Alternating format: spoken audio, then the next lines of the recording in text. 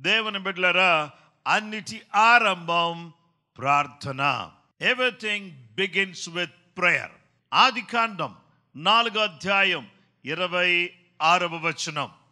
మరియు చేతునకు కూడా కుమారుడు పుట్టెను. అతనికి ఏనోషను పేరు పెట్టెను. అప్పుడు యహోవా నామమున ప్రార్థన చేయుట ఆరంభమైనది. చేతనగా నియమించబడిన వాడు అపాయింటెడ్ వన్ సబ్స్టిట్యూట్ బదులుగా ఇవ్వబడిన వాడు షేత్ అనేటటువంటి దీన్ని హెబ్రి భాషలో హీబ్రూలో ఇలా రాస్తారు. దేవుని బిడ్డలారా ఈ యొక్క మొదటి కనబడేటటువంటి అక్షరం పేరు షీన్. రెండో అక్షరం పేరు తౌ. ఈ రెండు కలిస్తే షేత్. షేత్ అనేటటువంటి పేరుకు ఎన్నో రకాలైనటువంటి అర్థాలు ఉన్నాయి షీన్ అనేటటువంటి లెటర్కి పలు వరుస ఏ విధంగా ఉందో ఆ విధంగా ఆ దానికి గుర్తుగా షీన్ అనే అక్షరం ఉంది. దీంట్లో మూడు పైకి వచ్చినట్టు కనబడుతున్నాయి. కొన్నిట్లో నాలుగు కనబడుతాయి. అయితే దేవుని బిడ్డలారా పళ్ళు పైకి వస్తే పలు వరుస ఏ విధంగా ఉందో దానికి గుర్తుగా ఉందన్నమాట. అంటే ఇప్పుడు దేవుని బిడ్డలమైనటువంటి మనము బైబిల్ గ్రంథములో ఆరు వందల పదమూడు ఆజ్ఞలు ఉన్నాయి ఈ యొక్క దేవుని యొక్క ధర్మశాస్త్రమును దివారాత్రములు ధ్యానించువాడు ధన్యుడు. ధర్మశాస్త్రాన్ని మనం ఏం చేయాలంటే ధ్యానించాలి. ఎప్పుడైతే ధ్యానం చేసి అవలోకనం చేసుకుని అవగాహన చేసుకుని అవలోకనం చేసుకుని వాటిని అన్వయించుకుని జీవితంలోకి తీసుకున్నప్పుడు అలాంటి వారికి దేవుడు ఎలా ఉంటాడు అని అంటే ఎల్షదాయిగా ఉంటాడు. ఎల్షదాయ్ అనగా పాలిచ్చే తల్లి లాంటివాడు తను కన్నటువంటి బిడ్డ తెల్లగా ఉన్నా నల్లగా ఉన్నా పొట్టిగా ఉన్నా పొడవుగా ఉన్నా ఎలా ఉన్నా కాకి పిల్ల కాకి ముద్దు అని మన పిల్లలు మనకు ముద్దు. అలాగే ఆ పిల్లలకు మనము ఆయన పిల్లలం కాబట్టి ఆయన మనకేం చేస్తాడంటే ఆయన మనకు పాలిచ్చి పోషించినట్టుగా ఒక తల్లి వారిని ఏ విధంగానైతే పోషిస్తూ ఉంటుందో ఆ విధంగా ఎల్షదాయ్ అనేటటువంటి మాటకు అర్థం హీఈస్ అవర్ సప్లయర్. మనకి సమస్తాన్ని కూడా అనుగ్రహించేటటువంటి వాడు. ఈ యొక్క షీన్ అనేటటువంటి యొక్క లెటర్ ఎక్కడుంది? ఎల్షదాయిలో మనకు కనబడింది. ఈ షీన్ అనేటటువంటి లెటర్ దేని మీద కనబడుతుందంటే టెఫ్లీన్. టెఫ్లీన్ అనేటటువంటి దాని మీద కనబడుతుంది. ఒక వ్యక్తి యూదుడైతే ఆ యూదుడు ఏ విధంగా ఈ టెఫ్లిన్ అనేటటువంటి దాన్ని ధరిస్తాడు అనేటటువంటిది ఒక్కసారి చూడండి. అతడు తలకు ఫోర్ హెడ్ మీద కరెక్ట్గా సెంటర్లో ఏం చేస్తాడంటే ఒక చిన్న బాక్స్ కింద మీకు ఆ బాక్స్ మీద షీన్ అనేటటువంటి అక్షరం కనిపిస్తుంది. టూ బాక్సెస్ కనిపిస్తున్నాయి ఇక్కడ. ఈ టూ బాక్సెస్లో ఒక బాక్స్ ఎక్కడ ఉంటుందంటే ఒక వ్యక్తి యొక్క నుదుట మీద ఉంటుంది. దాన్నే తెలుగులో మన వాళ్ళకి అర్థం కాక ఏమని రాశారంటే మీ నొసట దేవుని వాక్యము బాసికముల వలె ఉండవలెను. బాక్సులో ఏముందంటే దేవుని ధర్మశాస్త్రం ఉంటుంది. ఆ బాక్సులు స్మాల్ బాక్స్లో ఏముందంటే దేవుని వాక్యాలు ఉంటాయి. అలా తర్వాత ఇక్కడ ఈ యొక్క చేతికి ఈ భాగంలో ఇంకో బాక్స్ కనిపిస్తుంది చూడండి. అయితే ఈ ధర్మశాస్త్రం తలలో ఆ తరువాత చేతిలో అలాగే దేవుని వాక్యం చేతిలో పట్టుకుని చదువుతున్నప్పుడు తలలో ఏముండాలి? దేవుని వాక్యం ఉండాలి. మనం చేసే పనుల్లో అంటే ఇక్కడ ఈ చేతి లెఫ్ట్ హ్యాండ్కి కట్టుకోవడం వల్ల దేనికి దగ్గరగా ఉంది?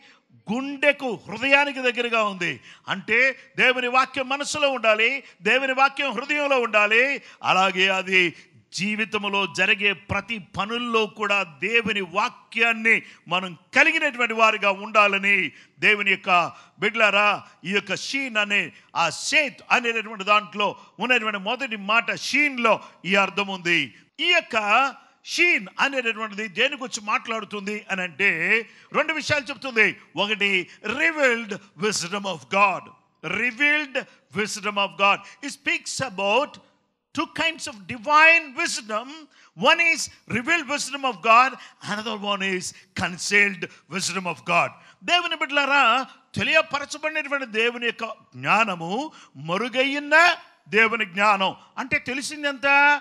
ఇంతే. తెలిసిందంతా మనకు తెలిసింది కొంచెమే. దేవుని వాక్యాన్ని ఎవరైతే ధ్యానం చేస్తారో వారికి దేవుడు ఎల్షదాయిగా ఉంటాడు. దేవుడు వారికి తన జ్ఞానాన్ని బయలుపరుస్తాడు. వారి పక్షంగా దేవుడు ఉండి వారికి సమాధానమును విశ్రాంతిని కలుగు చేసేటటువంటి దేవుడుగా ఉన్నాడు. వారికి దేవుడు సమాధానమును కలుగు చేసేటటువంటి వాడుగా ఉన్నాడు. ఇంకొక లెటర్ ఉంది అని చెప్పేసి అన్న దాని పేరు తౌ. ఈ తౌ అనేటటువంటిది last letter of Hebrew alphabet దయచేసి చూడండి. ఎర్లీ హీబ్రూలో తౌ ఏ విధంగా ఉందో? ఫస్ట్ ఒక నిలువు కట్టే ఒక అడ్డు కట్టే కలిపి కడితే ఎలా ఉందో అలా ఉంది. First early Hebrew. తర్వాత మిడిల్ హీబ్రూ ఏ విధంగా ఉంది? కొంచెం ఎక్స్ ఆకారంలో ఉంది. కొంచెం లేట్ హీబ్రూ ఎన్ ఆకారంలో ఉంది. ఆ తర్వాత మోడర్న్ హీబ్రూ వచ్చేసరికి ఈ విధంగా మారింది. అయితే దీనికి మూలంలోకి వెళ్ళి మనం చూస్తే తౌ అనేటటువంటి దానికి అర్థం ఏంటంటే మార్క్. గుర్తు. ఏంటి గుర్తు? దేవుని బిడ్డరా సిలువ గుర్తు. ఒక మార్పు లేని ఒక మరువలేని ఒక ముద్ర వేస్తుంది. ఏ నోసు పుట్టినప్పుడు చేతుకు ఏ నోసు పుట్టినప్పుడు ఒక మార్పు లేని ముద్ర పడింది. ఆ ముద్ర ఏంటంటే ఎనోసు పుట్టినప్పుడు ప్రార్థన ప్రారంభించబడెను. ఎనోస్ అనేటటువంటి పేరుకు అర్థం ఏంటండి మానవుడు హ్యూమన్ బీయింగ్ మనిషి. మార్టల్ మ్యాన్ క్షయమైన వాడు. బలహీనుడు. రోగి అని అర్థం. మానవుడికి క్షయమైనటువంటి వాడికి ఏం కావాలి? ప్రార్థన కావాలి. బలహీనుడికి ఏం కావాలి? ప్రార్థన కావాలి. రోగికి ఏం కావాలి? ప్రార్థన కావాలి. ఏ నోషు పుట్టినప్పుడు ప్రార్థన ప్రారంభించబడిన. First point. ప్రార్థన సాక్ష్యం. ప్రేయర్ ఆఫ్ టెస్ట్ మనీ ఆది కాండం నాలుగు ఇరవై ఆరు. మరియు శేతనకు కూడా కుమారుడు పుట్టెను అతనికి ఏనోషను పేరు పెట్టెను. అప్పుడు యహోవా నామమును ప్రార్థన చేయటం ఆరంభమైనది. Why the man started calling God what is the reason మనిషి దేవుని పిలుస్తున్నాడు. కారణం ఏంటి ఎందుకు పిలవాల్సి వచ్చింది? ఎందుకు దేవుని పిలిచాడంటే బలహీనుడు అనారోగ్యంతో ఉన్నవాడు కష్టాల్లో ఉన్నవాడు బాధల్లో ఉన్నవాడు వేదంలో ఉన్నవాడు క్షయమైనటువంటి వాడు నశించిపోయినటువంటి వాడు దేవుని సన్నిధిలో ఏమని ప్రార్థన చేస్తున్నాడంటే ప్రార్థనను ఆలకించువాడా! ఓ హలిలుయ ప్రార్థనను ఆలకించేవాడు మన దేవుడు. ఆయనకు మందిరం ఉంది. ఆ మందిరము సకల జనులకు ప్రార్థన మందిరము అనబడును. అబ్రహాము ప్రార్థన చేసి దేవునికి స్నేహితుడయ్యాడు నీతిమంతుడయ్యాడు దేవుని సన్నిధిలో ఇస్సాకు ప్రార్థన చేశాడు బలిపీఠాన్ని కట్టాడు బలిపీఠాన్ని కట్టి బావిని తవ్వుతున్నప్పుడు అక్కడ బావిని తవ్వుతున్నప్పుడు ప్రార్థన చేశాడు బలిపీఠం కట్టాడు బావి తవ్వుతున్నాడు దేవుని సదిలో బలిపీఠం కట్టాడు ప్రార్థన చేస్తున్నాడు బావి తవ్వారు బావిలో నీళ్ళు కనబడినాయి. బలిపీఠం కట్టాడు బావి తవ్వాడు బావిలో నీళ్ళు కనబడినాయి. నీ జీవితంలో నువ్వు ఎన్నో తవ్వుతున్నావు ఎన్నో తవ్వుతున్నావు ఎంతో ప్రయాసపడుతున్నావు. రాత్రంతా ప్రయాసపడితే కానీ మాకు ఏమీయో దొరకలేదు. రాత్రంతా ప్రయాసపడ్డాం కానీ we catch nothing we catch nothing మేమేం పట్టుకోలేకపోయాం మేమేం పట్టుకోలేకపోయాం. ఏ సయ్యమన్నారంటే మీ దోన లోతుకు నడిపించండి మీ కుడి తట్టు వల వేయండి. దేవునికి స్తోత్రం. లోతుకు నడిపించారు. వల వేశారు. వల పిగిలిపోయేటటువంటి చేపలు పడ్డాయి. బలిపీఠం కట్టకుండా బావి తవ్వితే నీకు కనబడిది కన్నీళ్ళు కనబడతాయి. ప్రార్థన లేకుండా నీళ్ళు చూడలేవు. సార్ మేడం సిస్టర్ బ్రదర్ ప్రార్థన లేకుండా నువ్వేమీ చూడలేవు. నీళ్ళు చూడలేవు. నీళ్ళు దేని గుర్తో తెలుసా?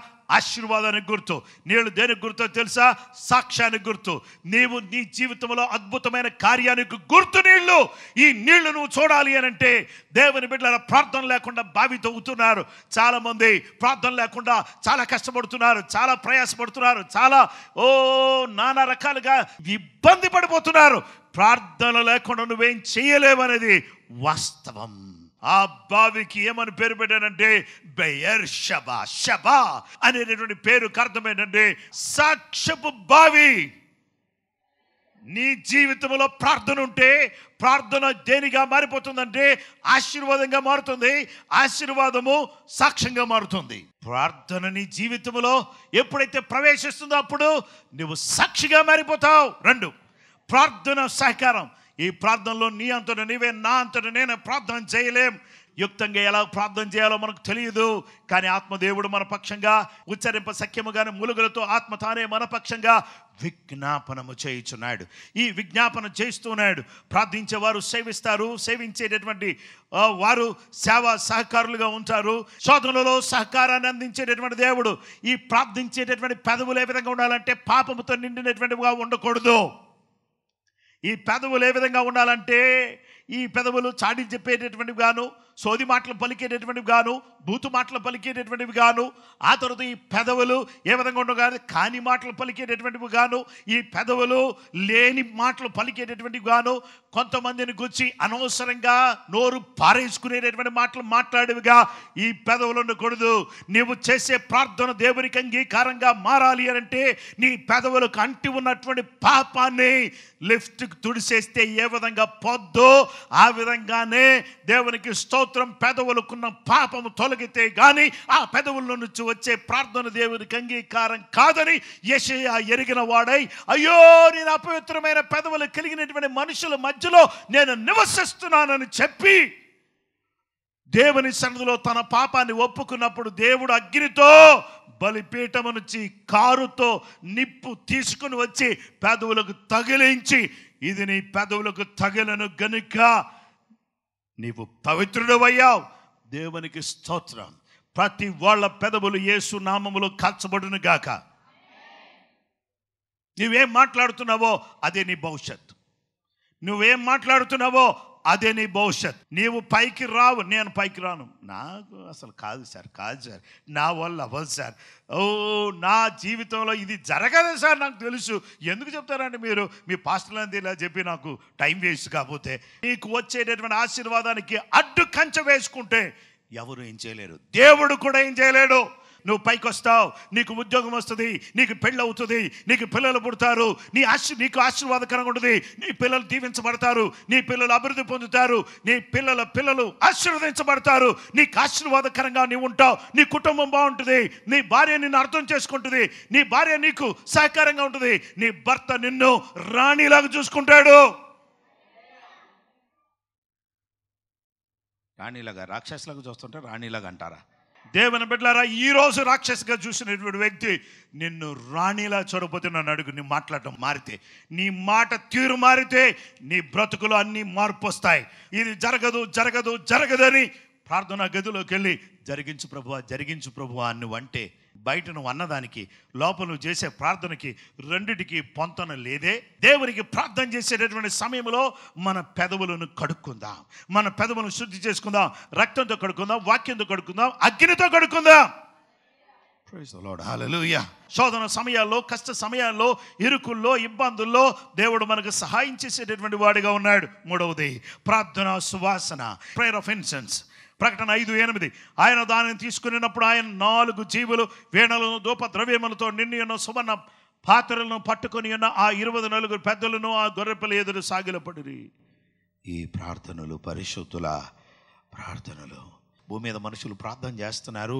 వాళ్ళ ప్రార్థనకు జవాబు ఇవ్వండి జవాబు ఇవ్వండి జవాబు ఇవ్వండి అని దేవుని సందులో ఆరాధన చేస్తున్నారు వాళ్ళు కూడా. ఆ తర్వాత ఎనిమిదో అధ్యాయం మూడు వచనంలో మరియు సువర్ణ దుపార్తి చేత పట్టుకుని ఉన్న వేరొక దూత వచ్చి బలిపీఠం ఎదుట నిలువగా సింహాసనం ఎదుట ఉన్న సువర్ణ బలిపీఠము పైన పరిశుద్ధులందరి ప్రార్థనలతో కలుపుటకై అతనికి బహుధూప ద్రవ్యము ఇయ్యబడిను. ప్రకటన గ్రంథం పదిహేను అధ్యాయం ఏడు వచనం.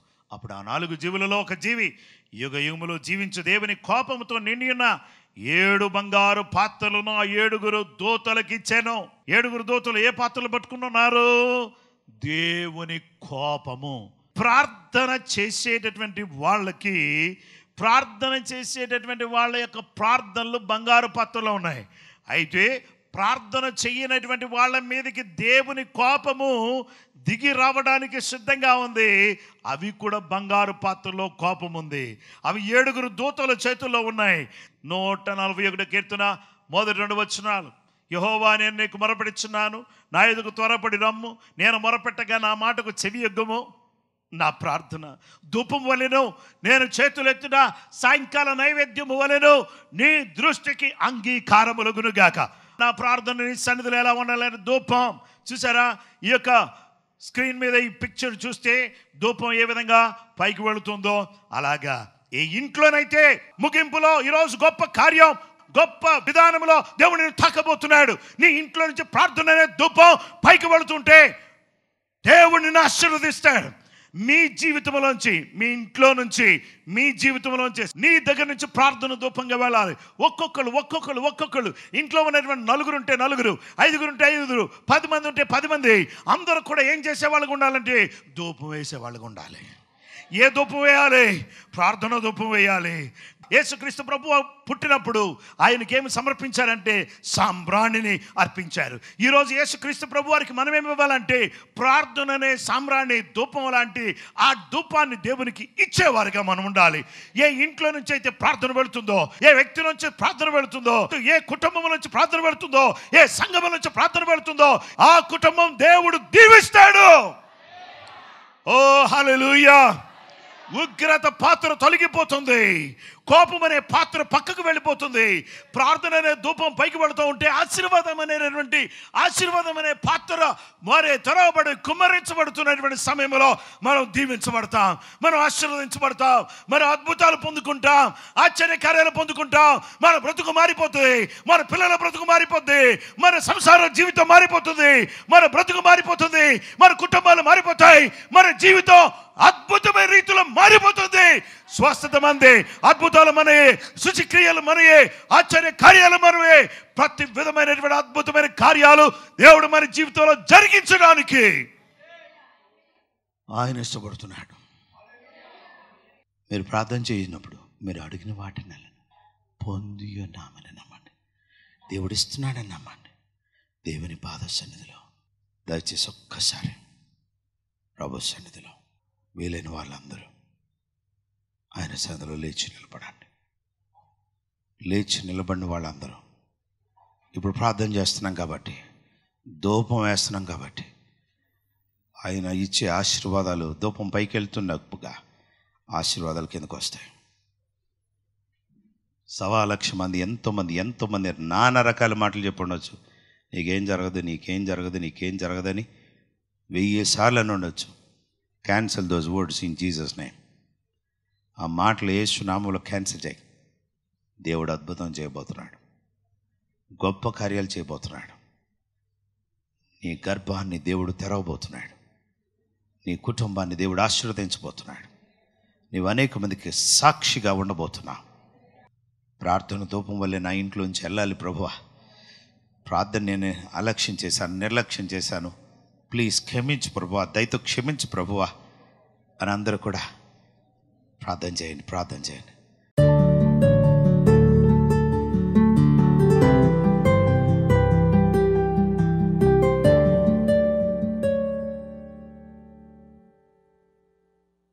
యేసు ప్రభువా నీ వాక్యం కొరకు వందనాలు. ప్రార్థన సాక్ష్యం ప్రార్థన సహకారం.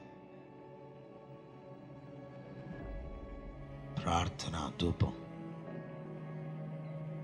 మీ సన్నిధిలో మేము వేసే వాళ్ళగా మేము ఉండడానికి సహాయించి ఈ ప్రార్థన సువాసన నీ దగ్గర రావాలి. అలాగే మా ఇంట్లో నుంచి ధూపం లేవటం మేము చూస్తున్నాం. మేము చూస్తున్నాం. మేము చూస్తున్నాం. మా పిల్లలు ప్రార్థన చేయడం మేము చూస్తున్నాం. మా కుటుంబంలో ఉన్నటువంటి భర్త ప్రార్థన చేయటం భార్య ప్రార్థన చేయటం ఇంటి వాళ్ళందరూ ప్రార్థన చేయటం పిల్లలు ప్రార్థన చేయడం యేసు నామమును మేము చూస్తున్నాం. అది యేసు నామములో ఈ రోజు నుంచి జరుగురుగాక ప్రతి విధమైనటువంటి కీడు తొలగి పవరుగాక యేసు నామములో అద్భుతం వెంబడి అద్భుతాలు బిడ్డల జీవితంలో జరుగునుగాక. యేసు నామములో అడుగుచున్నాము తండ్రి.